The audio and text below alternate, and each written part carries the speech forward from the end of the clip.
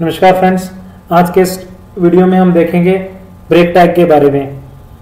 जो break tag है ये एच में बहुत अ, कम यूज़ होता है। तो आइए चलिए करते हैं स्टार्ट इसके लिए आप अपना आपने कोई जो पहले प्रोजेक्ट बनाया था जो पहले आप एडिटिंग कर रहे थे वही शीट ओपन कर लीजिए या फिर न्यू ओपन कर लीजिए। तो आज हम करेंगे नोटपैड प्लस प्लस में काम। चलिए जी, मैं नोटपैड प्लस प्लस ओपन कर लेता हूँ। तो न्यू शीट बना लेता हूँ मैं स्टार्टिंग से।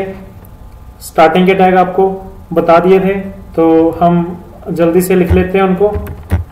S T M L S T M L close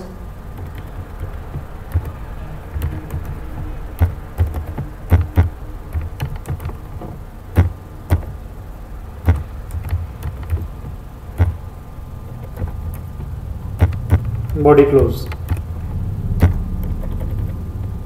title दे दीजिए आप।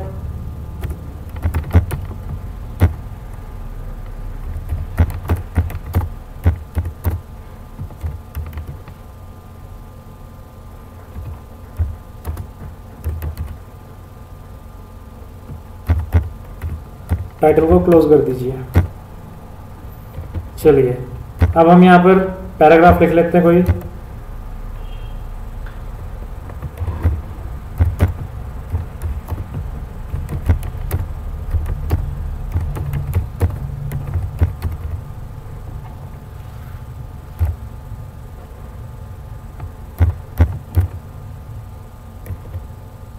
चलिए जी। अब आपने पैराग्राफ लिख दिया इसको आप सेव कर लीजिए पहले।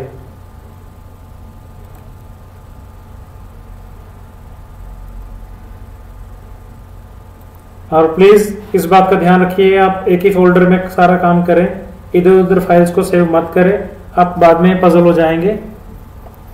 तो और जो नेम आप रखेंगे, जिस चीज़ के बारे में आप सीख रहे हैं तो प्लीज़ आप उसी से रिलेटेड नेम रखें, ताकि आप इन फ्यूचर अगर आपको कोई प्रॉब्लम होती है तो आप उस शीट को ओपन करके देख सकते हो। तो सपोज़ मैं आज ब्रेक टैग के बारे में कर रहा हूँ तो यहाँ पे हम लिख सकते हैं break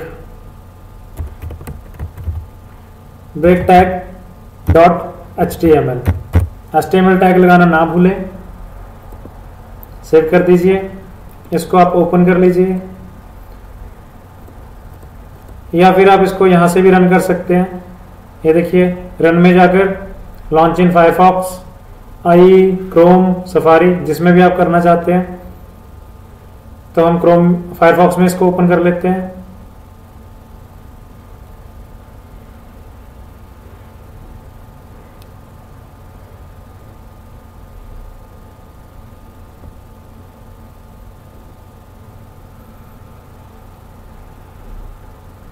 अभी ये लीजिए, हो गया open. Hi my name is Maan Singh अब इसमें ब्रेक टैग का क्या फ़ंक्शन है? चलिए, यहाँ देखते हैं हम। दूसरा पैराग्राफ लिख लेते हैं। आई एम फ्रॉम चंडीगढ़ इसको आप सेव कर लीजिए। यहाँ जाकर रिफ्रेश कर लीजिए। अब देखिए, जैसे ही हमने एक पैराग्राफ लिखा और क्लोज किया, उसके बाद हमने दूसरा पैराग्राफ लिखा और उसको क्लोज किया। जब यहाँ से हमने पैराग्राफ स्टार्ट किया और यहाँ पर क्लोज किया, उसके बाद जब हमने दूसरा पैराग्राफ स्टार्ट किया तो उसने ऑटोमेटिकली यहाँ पर ब्रेक दे दिया। ये देखिए, जैसे ही हमने पैराग्राफ को क्लोज किया, वो जो दूसरा पैराग्राफ होगा, वो ऑटोमेटिकली नीचे से स्टार्ट होगा। तो ये तो बाय डिफ़ॉल्ट ऑटोमेटिकली ब्रेक लग गया। अगर मैं इसको एक ही लाइन में लिख देता हूँ सपोज़ मैंने इसको यहाँ से कट करके एक ही लाइन में लिख दिया। हाय my name is Maan Singh I am from Chandigarh अब देखिए इसको सेव कर लेते हैं।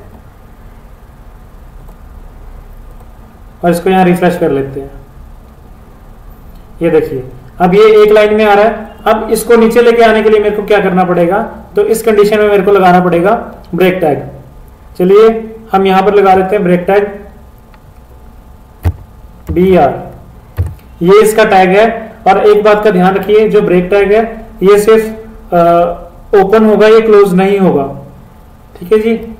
एस में आ, दो चार ऐसे टैग्स हैं जो ओपन होते हैं बट वो क्लोज नहीं होते हैं।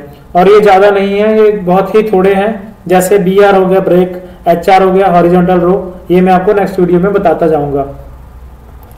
चलिए जी, अभी हम इसको चेक कर लेते हैं। सेव यहाँ अगर आप इसको रिफ्रेश कीजिए। ये देखिए, जैसे पहले हमने किया था पैराग्राफ के थ्रू वो ऑटोमेटिकली नीचे आ गया था, अभी हमने किया ब्रेक टैग के साथ। ये देखिए नेक्स्ट लाइन में आ गया। इसी तरह अगर आप कुछ और लिखना चाहते हैं, कुछ और पैराग्राफ लिखना चाहते हो तो उसके आगे आप ब्रेक टैग दे दीजिए, वो नीचे आ जाएगा। ठीक है जी? तो ये बहुत ही सिंपल है। और इसमें आपको ये टैग क्लोज नहीं करना होता, इस बात का ध्यान रखें आप।